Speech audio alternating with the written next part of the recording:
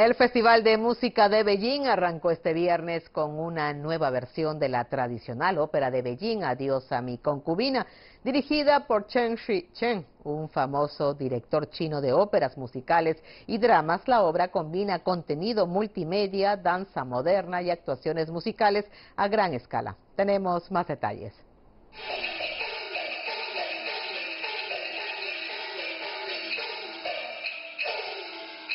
Adiós a mi concubina es una historia romántica y trágica basada en la leyenda del antiguo héroe Xian Yu y su amada concubina Wu Ji.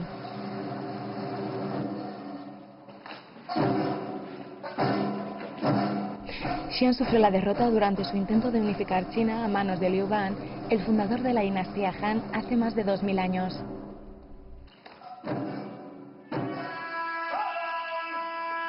En la adaptación de Zen, el director mantiene el canto tradicional de la ópera de Pekín y usa técnicas interactivas como vehículo para dar vida a las voces de los personajes.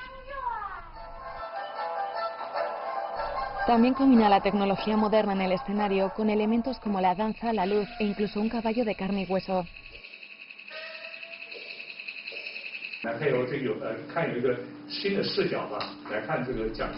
Quería crear una nueva versión de esta historia basada en los clásicos y romper con las limitaciones tradicionales de la ópera de Pekín, con el fin de crear un vocabulario teatral contemporáneo que llegue a las audiencias modernas.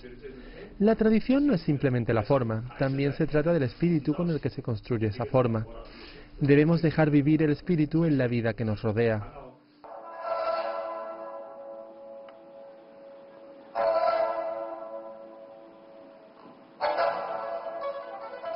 La orquesta no solo usa instrumentos tradicionales chinos, también cuenta con cinco instrumentos musicales occidentales, incluyendo el violín, el violonchelo y el arpa.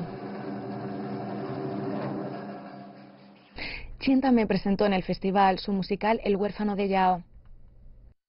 La pieza cuenta la historia de la venganza de un huérfano contra aquellos que mataron a los miembros de su familia. Varios artistas extranjeros participan en esta obra. CGTN en español.